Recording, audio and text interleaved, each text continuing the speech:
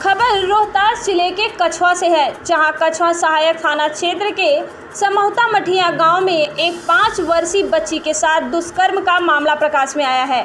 Police ने आरोपी युवक को गिरफ़्तार कर लिया है। इस वारदात के बारे में बताया जाता है कि गाँव के ही रोहित गिरी नामक 19 वर्षीय युवक ने इस घटना को अंजाम दिया।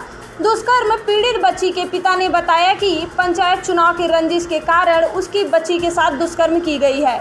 उसने आरोप लगाया कि एक उम्मीदवार के पक्ष में प्रचार करने के दौरान कुछ ही लोगों ने मुझे धमकी भी दी थी कि चुनाव का परिणाम अगर गड़बड़ी हुई तो इसका अंजाम तुम्हें भुगतना होगा। आरोप है कि चुनाव हार जाने के कारण ही प्रतिपक्ष के लोगों ने बहकाकर एक युवक से दुष्कर्म की घटना को अंजाम दिलवाया है। पीड़ित के पिता ने यह भी बताया कि मतगणना को लेकर वे लोग सासाराम गए हुए थे। उसी दौरान जब पराजय का परिणाम सामने आया तो उसकी बच्ची के साथ घर से उसे हैवानियत के साथ उसको उठा ले गए।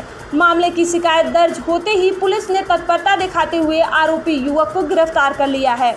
वहीं पीड़ित बच्ची का मेडिकल जाँच के उपरांत उसे घर भेज दिया गया है। लड़की की स्थिति अब सामान्य है। देखिए कछवा से रुपेश कुमार की रिपोर्ट। चिंटू भैया के ओर से रही समर्थक।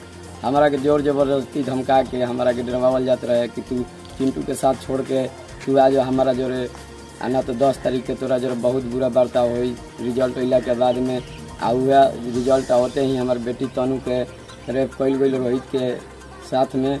उ लड़की भी हमारे पाँच बरिस के लड़का बा बीस बरिस के, आखिर करावल के।